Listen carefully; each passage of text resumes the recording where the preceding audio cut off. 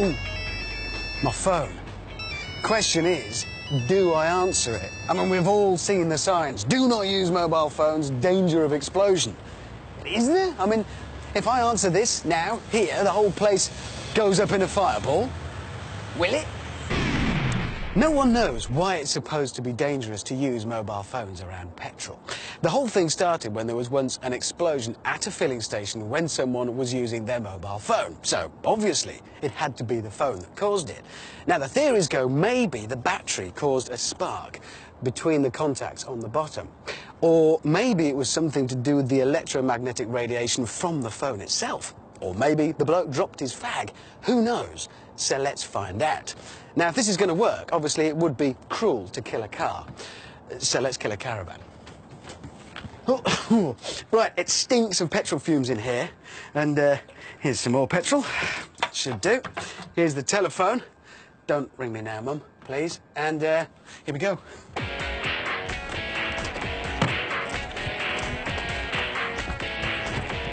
Right. Here we go. Ready? Here we go. It's ringing.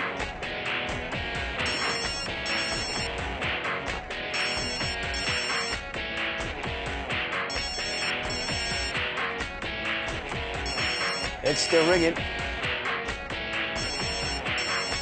Hmm. Doesn't look like that's going to blow.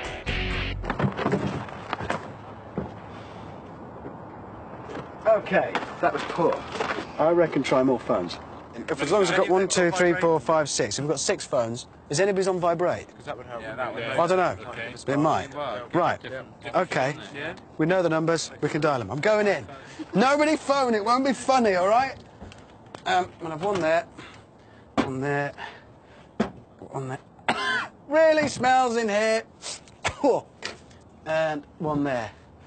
Okay. Right. Numbers at the ready. Tell me when you've got your numbers in, don't press send. I'll do a three, two, one, and we go. But that's so that's three, two, one, then go. Right. Okay, here we go.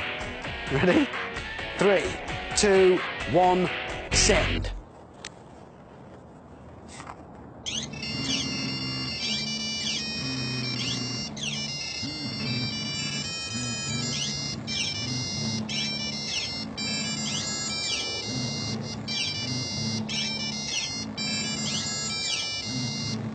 I don't think.